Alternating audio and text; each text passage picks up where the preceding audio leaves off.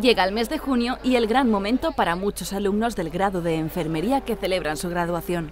El broche es una etapa única en la vida en la que se han formado durante cuatro años para salir al mundo laboral con la mejor preparación.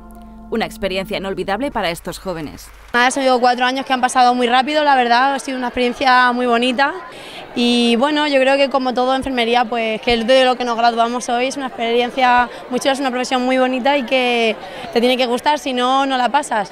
Se han pasado volando, la verdad, he tenido muchas cosas, ha sido difícil porque también he tenido que estar trabajando y estudiando, pero afortunadamente estoy haciendo lo que me gusta, eh, que es la enfermería, y eh, salir de aquí de la Universidad de Alicante, que es una maravilla, y se lo recomiendo a cualquiera que quiera estudiar enfermería.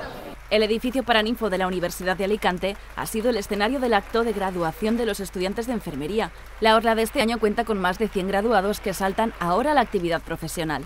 Entre ellos, una madre que ha tenido que combinar los cuidados de sus dos hijos con el estudio. Tengo una hija y un hijo, mayores ya, y bueno, yo creo que hace un poco también complicado a la hora de compaginar, pues eso, el, cuidado de ellos en su, de, aquella manera. Pero bueno, que al final eh, ellos están muy contentos, yo también, y la verdad que es un reto que tenía muchas ganas. Repasando los cuatro años de carrera, muchos alumnos coinciden.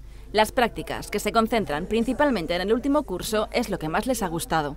Algunos recién graduados ya se han colegiado en el CECOBA y empiezan a buscar trabajo. Sobre todo eso, las prácticas te enseñan muchísimo de lo que es el día a día de un hospital, un centro de salud y el trato con pacientes y personas. Ya estoy preparándome para el examen de la especialidad, para leer y nada, pues a estudiar y quiero compaginarlo con trabajar y bueno, si se puede. Enhorabuena a todos los graduados de la Universidad de Alicante.